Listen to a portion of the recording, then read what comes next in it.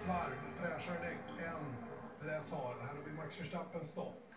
Städar av framhängen lite grann från eh, Lundgren. Det krånglar lite grann på vänster bak som gör att det tar en sekund längre